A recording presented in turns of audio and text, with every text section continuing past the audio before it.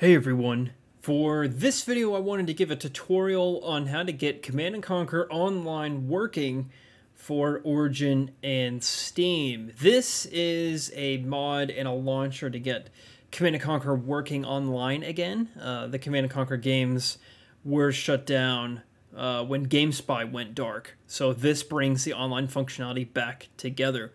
What you want to do is download their launcher, which I've already done and installed it on my machine. Once it's installed, you want to search for CNC online, and it'll give you this pop-up here. It's a little confusing. If you click these to launch your games, it actually won't work. What you need to do is hook them to a particular game. So what you do is you do hook. I've already selected uh, Command & Conquer 3, and if you haven't, you'll choose whichever game you want. For this example, we'll stay on Command & Conquer 3, so you want to click that checkbox there. Once the hook is done, you want to exit the application. Next, we're going to, in this case, launch Origin. And here I have the Command & Conquer 3 Tiberium Wars and Kane's Wrath. We want to click play. Give it a second. And we will get this launcher. Now, on the hook, we chose Tiberium Wars, so that's what I'm going to launch here. When you click this, this instead, in, instead of launching the game, it's going to pull up this launcher again. Now, we click CNC3. Give it a few seconds, and this will launch the game. Okay, now we have successfully launched Tiberium Wars from the CNC Online launcher.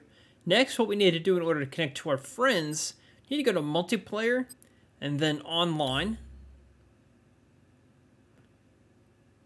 Next, uh, what you're going to need to do is go on CNC Online and create an account.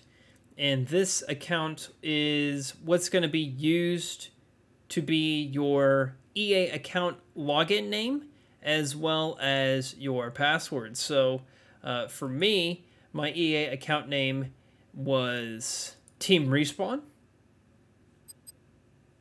Once you enter your password, login is actually down here at the bottom right. It's a little misleading.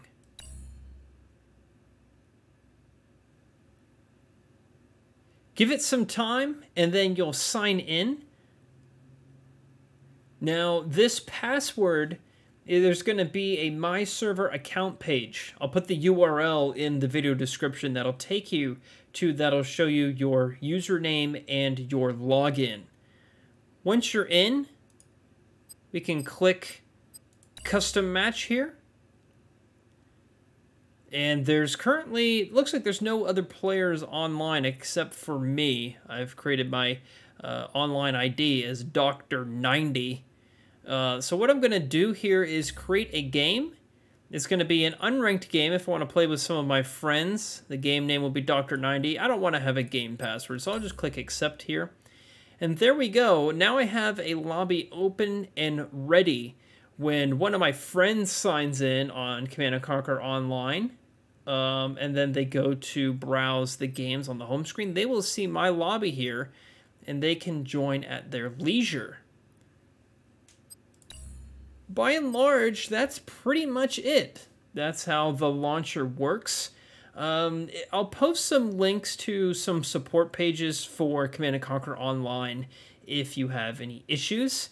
They also have a Discord server uh, that this is where I got some help when I got stuck, uh, so you can check that out if you want. And finally, join the Team Respawn Discord server where we talk about RTS games, including Halo Wars and Command & Conquer.